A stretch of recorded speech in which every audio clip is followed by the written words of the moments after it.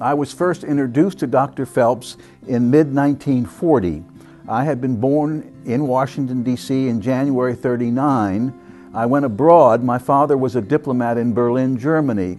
And when the European War began, eh, my mother and my sister and brother and I came back to the United States. And we were staying with friends in Boston temporarily when I began to, to show signs of weakness on my right side. And a doctor in Boston that my mother visited suggested that I come and see Winthrop Phelps in Baltimore. He didn't know what was wrong with me. He said it was something more than just a weak ankle. And he, he said that Winthrop Phelps was working on something and that perhaps he could diagnose me properly. Um, my mother brought me to Winthrop Phelps. He examined me, and I think he examined me well because he said, I have cerebral palsy. I'm not sure they even used that word in those days. It may have been called spastic paralysis. But I was his patient then for 21 years, and he took good care of me. He, his um, clinic was at 3038 St. Paul Street, a row house in downtown Baltimore. And I remember visiting him several times a year. I was in Europe a lot of that time and would come back specifically to, to be treated by Winthrop Phelps, and where he would examine me and adjust my braces and things like that. His clinic was simply a row house, as I said, and we would arrive, and on the first floor was the waiting room, on the second floor was his office. And I remember seeing the other children there, uh, some more severe than I, and they had to climb up these stairs. We all had to climb up these narrow stairs to go to his office. And that's where he would measure my leg. He would, I remember he would tap my knee to see the, the, the nervous reaction in the leg. He would measure for my braces uh, on my right side. I wore a brace on my right leg and my right arm. Um, in contrast to today, it was quite heavy. It, it was a leather shoe, it was an iron bar that came up the side, both on my leg and my right arm. And he would adjust this every three months or so as I was growing older. Often these tools uh, were not replaced, this equipment was not replaced. He simply adjusted it. And I remember, perhaps it was because of the shortages at the end of World War II, when my foot got too big for the shoe, he would simply cut off the toe and my feet would grow out. And I remember once somebody saying, What do you do if it's cold? And he said, Just put a sock over your shoe. So that's the way I went, got through the seasons, perhaps. But there was nothing else. So there was not a question of was he doing the right thing or the wrong thing or the useful thing, that's what existed. And there was no second guessing, there was no complex about it. Nobody ever told me at all that perhaps I looked funny because I wore these braces. I was fortunate enough to go to regular schools, I guess you could call it, and once in a while I was badgered, I was bullied a little bit, uh, and I had to fend for myself. But it never occurred to me to do anything else. Um, in, and in those days, there were no therapists or counselors to advise you on how to deal with what would now be called stressful circumstances, situations. One faced these things and one coped. My parents, looking back, were extraordinarily helpful to me. They gave me tough love. At, a, at the earliest age, they said to me, that I would have to learn how to get things done because the chances are, and God willing, I would outlive them. And they, they wanted to make sure that I had the confidence and the, the best wherewithal to do the best I could. Um, and that continued on. I think it was a combination of my parents, my older brother and sister, and Winthrop Phelps. It never occurred to me that I was suffering it never occurred to me that I needed society to take care of me, although I benefited certainly from the medical attention I was getting, which was probably pretty good for that time. Um, and I realize in hindsight that a lot has improved since then. I have seen the facilities here at the Kennedy Krieger Institute and am quite impressed with all the different specialized treatments and therapies and counseling that's given. I think it's terrific. Um, and I, uh, and I do the best I can now as an adult to help that move along, to, to, to contribute something that I can. But in my time, there wasn't much second guessing, or I would call it the, the, the, emotional complexes that might go along with a handicap of this kind today. And I understand very well that I'm a, only a hemiplegic, I have a moderate case of cerebral palsy on my right side. And although I had very difficulty speaking when I was young, I stammered terribly. So when I was five years old, Winthrop Phelps suggested that I take speech lessons. It wasn't even called therapy in those days. And I did go to a speech uh, therapist in Washington, and I remember the first year I simply was told, don't speak, just stop speaking. Uh, and I would have to write out everything I needed. Now, I cheated all the time, but the idea was to get me breathing properly again, get me get the rhythm of, of my diaphragm and my tongue and my voice in sync somehow. Um, it was not easy for me, um, but I, I, had no choice. Um, and I was tongue tied, and what they did was cut the membrane under my tongue. And I remember that was very painful, although I got ice cream for it. And in those days, ice cream was still a little bit special. So that's the way I was treated and dealt with when I had these special, um, the special attention given to me. I had a terrible time speaking for about two more years, and then suddenly it got better. And I remember my parents saying later on, laughing and saying, Well, you talk so much now, maybe we made a mistake in, in help, helping you learn how to speak properly. But that was all with great love and affection. I stopped seeing Winthrop Phelps just before I went to university. Uh, I was 18 or 19 years old, and that was the last time I saw him. Um, uh, and then I went through university. Uh, I, I, stopped wearing my braces. Um, I, by then, I began to think about helping other people who had worse disabilities than I.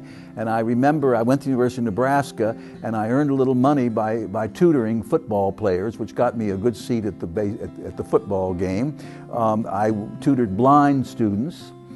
Um, and that gave me great pleasure, great, great satisfaction. Um, I realized, going looking back, there was an amusing side to this. Um, the football players who knew I was handicapped were very protective of me, and once in a while they would come to me and say, "Is anybody giving you a bad time? If they do, I can punch this guy out." And I said, "No, everything's going to be fine. Don't worry." But there's something also a little reassuring about that too. I was uh, I had good friends who, who I would ask them now what they thought of me in those days.